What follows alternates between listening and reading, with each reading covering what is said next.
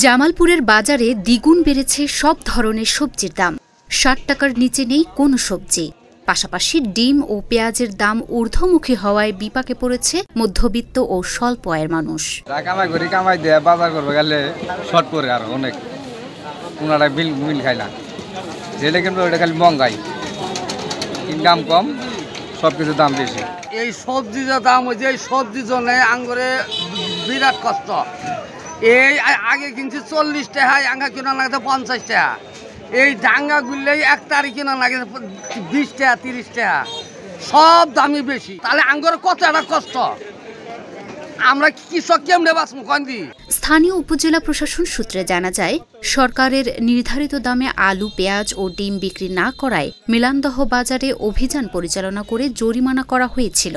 কিন্তু তারপরেও আলু পেঁয়াজ ও ডিমের দাম নির্ধারিত দামে বিক্রি হচ্ছে না। সবজির দাম বৃদ্ধি কারণ হইতেছে মাঝখানে কিছু বর্ষা।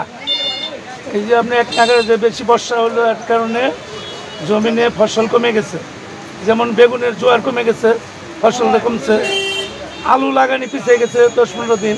আলুর দামটা বৃদ্ধি হয়েছে এই পিছনে বর্ষার কারণে সবজির দামটা বৃদ্ধি হয়েছে আবার হয়তো এই দশ থেকে পনেরো দিন পরে আবার কমে আসবে।